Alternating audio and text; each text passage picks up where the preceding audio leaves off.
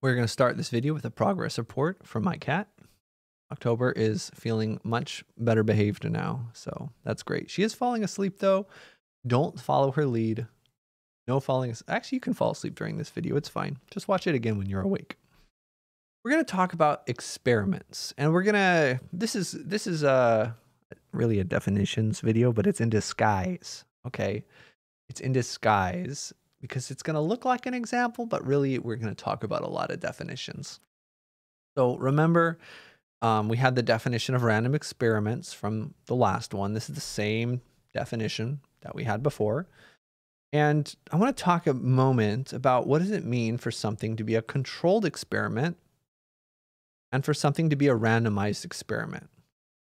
So control means it has a control. It doesn't mean controlled necessarily in the same way that like, oh, controlled fall or like, oh, I'm going to control this marker in the way that I want it. It means has a control group, which we'll define later. And random randomized means that each group is randomly assigned.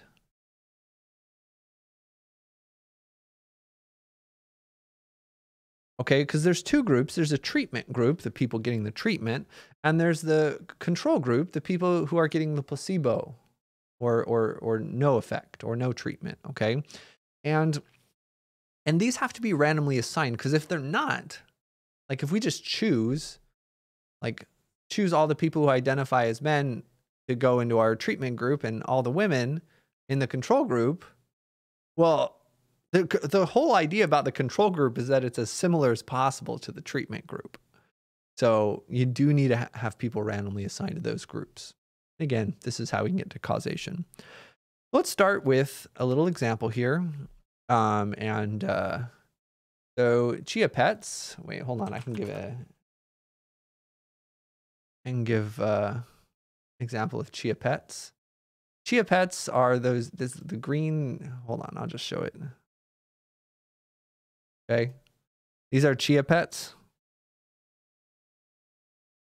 The green things are the chia whatevers. But these are chia pets. You've seen some before. Okay. Um and uh yeah. Made chia plant a household name. Okay, but a few years ago, uh, chia gained a new reputation as a diet supplement. Okay, so there was a study in 2009, and a team of researchers recruited 38 men, divided them randomly. Okay, happy to see that. The men were randomly divided into two groups a treatment and a control, and also 38 women, and again, randomly placed them in a treatment and control. Okay, the one group was given 25 grams of chia seeds twice a day, the other one was given a placebo. Subjects volunteered to be a part of the study. After 12 weeks, the scientists found no significant difference between the groups in appetite or weight loss. Now, no significant difference is another good word. We talk more about that in Unit 8 because things are random, right? And if one group had a like a one pound weight loss and the other group had a 1.1 pound weight loss, obviously those are different numbers. You have so many things that you have to think about to talk about whether those are actually different numbers or just due to random chance. And we're going to use new, uh, math to kind of say, how can we decide? It's really cool. It's one of my favorite units. Okay, that's part of inferential statistics. So let's talk about this example and do some vocab words. So the treatment group. And in this case, we're actually going to have two different treatment groups because we're looking at, we're essentially doing an experiment with men and an experiment with women because maybe it affects them differently because a lot of things do. Okay. And historically, a lot of things were really only designed for men and then it kind of screwed up things for women. Anyway, that's another conversation. But yeah, it's uh, believe it or not, it's helpful to look at more than half of your population. Okay, so there are two treatment groups. There are the two groups, right? The uh, the groups of men and women receiving treatment. And what is our treatment here? the treatment was the chia seeds. Okay. Whereas the control group, that's a group that's not retrieving the treatment. That's going to be very similar. It's Going to be the groups of the men and the women receiving the placebo. This is shorthand. I'll use it quite a bit. If I'm writing down the exact same words I wrote down just above it, I'll do the squiggles. All right. Has blinding been used? We haven't talked about that yet. Blinding is basically where um, people don't know what's happening, basically. Okay, so single blind is going to be the um, participants don't know what they're getting.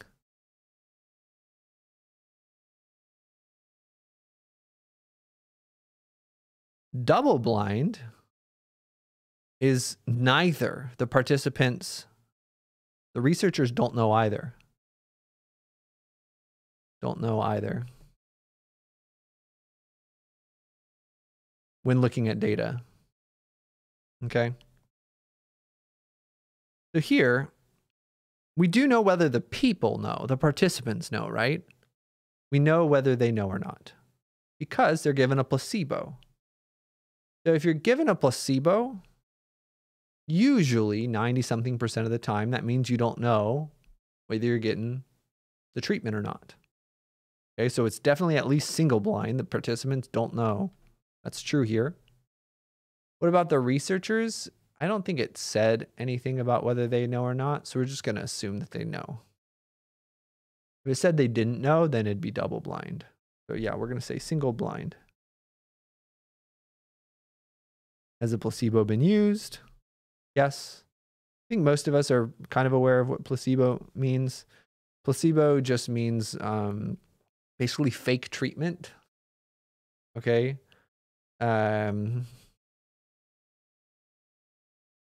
to make you feel like you're getting treatment, there's something called a placebo effect, where just the fact that you're taking a treatment, even if it's just a sugar pill, even if it doesn't work, the fact that you're taking treatment will usually lead to results.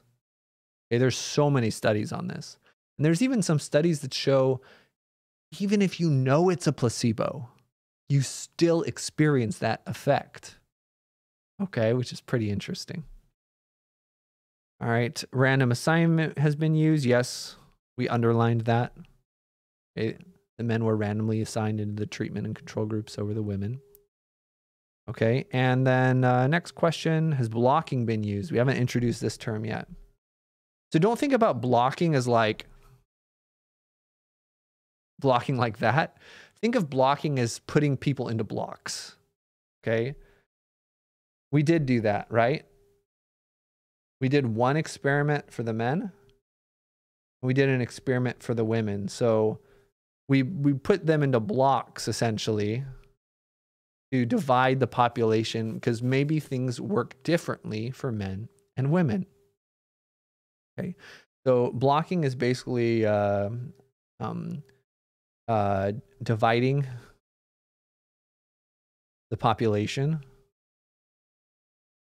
and uh, doing the experiment on both. It could be more, more groups. All right. So yes. No, uh, blocking variable was gender. Letter G, what's the response variable? What did we measure? Try to include units. What did we hmm. measure? We found no significant difference but we measured appetite and weight loss.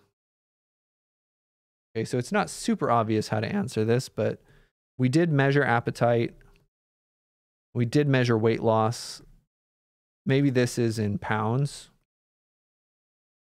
Could be in kilograms or something else. Appetite, that might be uh, categorical data. Could be ordinal data.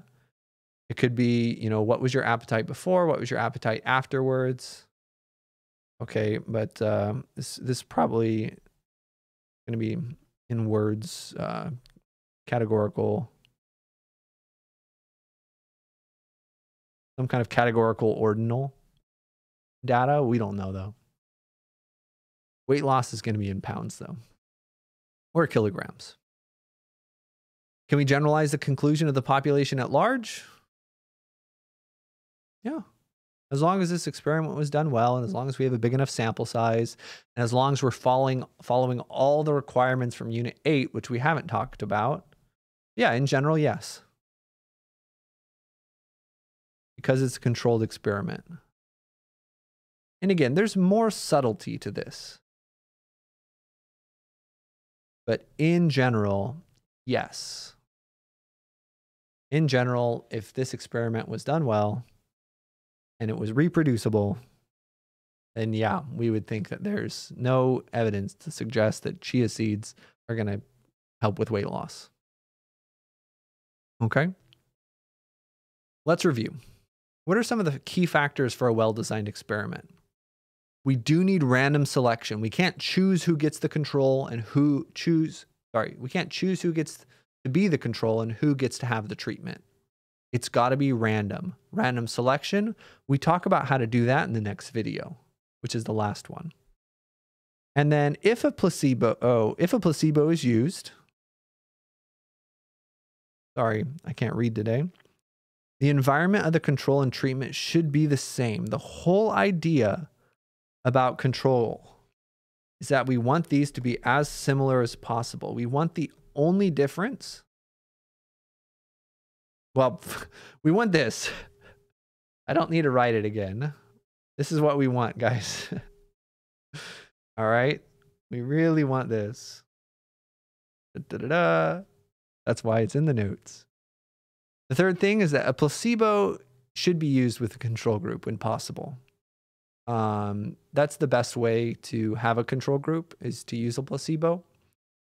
Um, it's not always mandatory, but it's really good. And if a placebo is used, it should be blinded.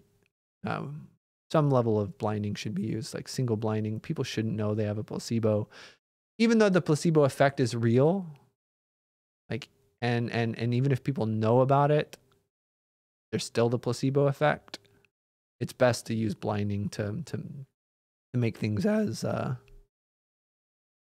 as clear as possible for that difference. And that's basically it for experiments and observational studies. Uh, we got a good uh, overarching talk about them in the last video. This video, we talked more in depth about a lot of vocab for experiments. So lots of terms here. We got to see them in example. Okay. In the next video, we're going to start talking about different ways of actually taking these samples. Population is the whole thing. We can't usually look at that. We got to look at a subset sample. How do we choose who's in that sample, stay tuned. Don't go anywhere, but you can go somewhere and then watch the next video later. Bye bye.